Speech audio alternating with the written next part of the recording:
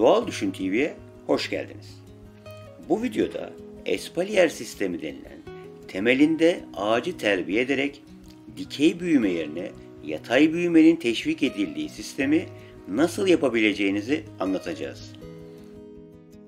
Espalier sisteminde sadece yatay büyümeyi teşvik eden uygulamalar yoktur. Farklı yöntemlerle de yerden tasarruf sağlanır.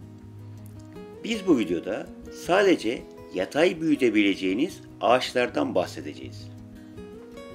Sistemin temel mantığı dikey büyümeyi yavaşlatarak yatay olarak büyümesini teşvik etmek, bu şekilde su sürgünlerinin büyümesini yavaşlatarak ağacın enerjisini çiçek ve meyve üretimine vermesidir.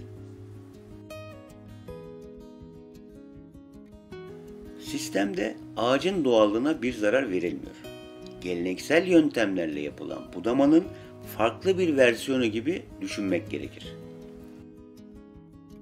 Her ağaç için uygulanabilecek sistemin kendine göre avantajları vardır. Öncelikle akıllara takılan bir soru olabilir. Bu şekilde ağacın üretkenliği azalır mı? Aksine ağacın enerjisini meyve üretmeye yönlendirildiği için geleneksel uygulamalar kullanılarak aynı mekanda olduğundan daha fazla meyve üretilir.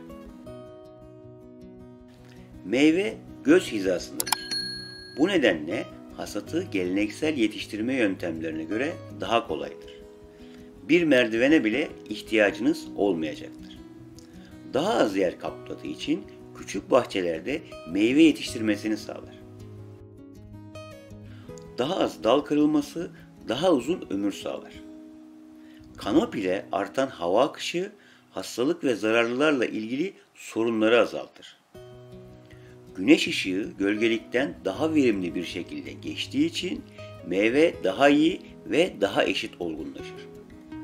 Ancak ne yaptığınıza dair kapsamlı bilgi de dahil olmak üzere geleneksel olarak yetiştirilen ağaçlardan daha dikkatli bulama yapmak gerekir.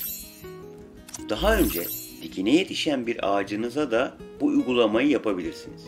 Ancak yeni diktiğiniz bir fidana uygulamak çok daha kolaydır. Fidanlar daha tam gelişmesini sağlamadan yere paralel şekilde büyümesini teşvik etmek için dibine bir destek koyun ve demirlerle yere sabitleyerek fidanın bu şekilde büyümesine olanak sağlayın. Süreç içinde budama yaparak istediğiniz oranda bir büyüme sağlayın. İlerleyen dönemlerde ağacın dallarını toprağa temas ettirerek yeni kökler atması teşvik edilebilir ve bu şekilde daha çok su ve besin maddesi alması da sağlanabilir. Bir videonun daha sonuna geldik. Kimsenin sizi doğal düşünmekten alıkoymasına izin vermeyin. Sağlıklı kalın, sağlıcakla kalın.